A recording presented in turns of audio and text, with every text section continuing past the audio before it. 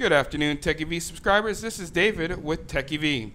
And today we will be learning how to point our websites that are hosted on GoDaddy to our web hosting site that is hosted on HostGator. So what you need to go ahead and first do is log into cPanel on your HostGator account. Once you successfully log into HostGator, what you're going to go ahead and do is scroll all the way down to the bottom and you will notice that you have two name servers. So what you want to go ahead and do is go ahead and highlight it and copy it and go over to GoDaddy.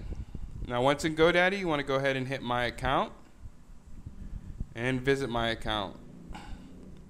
Once here you'll see that you have a listing for domains and one of my domains is viralvideoshq.com.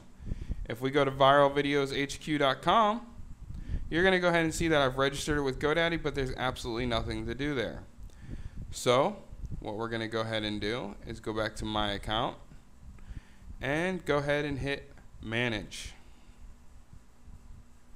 Once we are in manage, what you're going to go ahead and do is go down to name servers.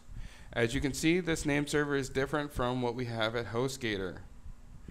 So go ahead and click manage my name servers here. Last time it was updated was 8-10-2014. And right now you are on standard, so you're GoDaddy hosted, forwarding, and park domains. What you want to go ahead and do is go ahead and click custom and enter your custom name servers. So once you're up here at name servers, go ahead and paste that first one that you got and then go ahead and paste it again. However, both name servers aren't going to be ns8201.hostgator.com or ns8201.hostgator.com.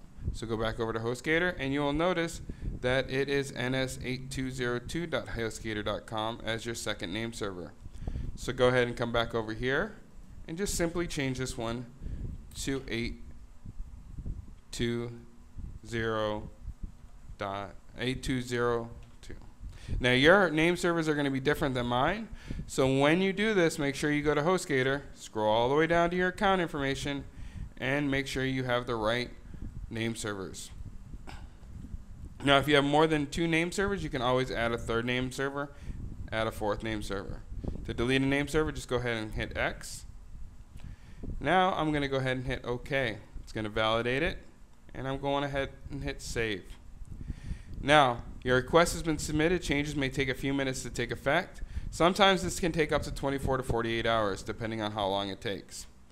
So what you can do is just go ahead and sit here and see it's still pointing there. So it's going to take a little while. After you've done that, you're going to come back over to HostGator. And on our next video, we will go ahead and learn how to change our domain over to HostGator.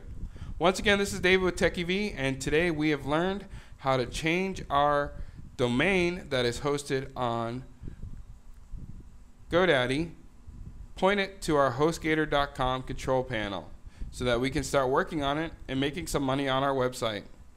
After all, that's what we want to do. Thank you, and make sure you check out Techyv.com. Have a great day.